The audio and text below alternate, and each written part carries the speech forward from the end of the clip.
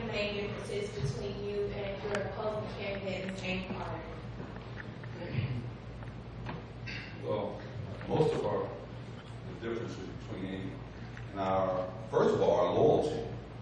Um, she has shown right off the bat that she can't be trusted and has not been loyal to the citizens of Lowndes County, folks that elect her. Um, that's that's our, our biggest difference. Our other difference is the fact that she has forgotten and she does not put her emphasis on uh, our most vital resources, which are our children. Uh, Ms. Carter has voted for House Bill 1162, the Charter School Amendment, which would take away power from local schools, or local school boards to give to, to the state. Now, the state of Georgia has already said that that, that, was, uh, that was not legal, and they just banned uh, that commission.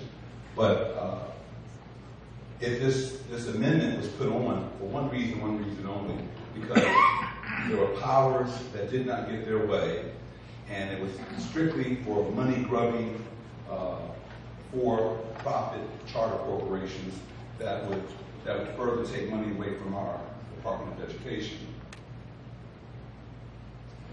Other differences that, uh, that we have is the fact that she is not articulating the values that we have in South Georgia. She voted for House Bill 87, which was the immigration uh, uh, bill.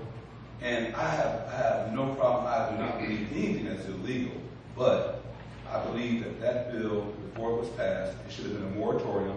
We should have sat down with farmers, we should have sat down with communities, we should have made sure that we did something that was going to be, uh, something that wasn't going to be so chaotic and hurt our farmers so drastically.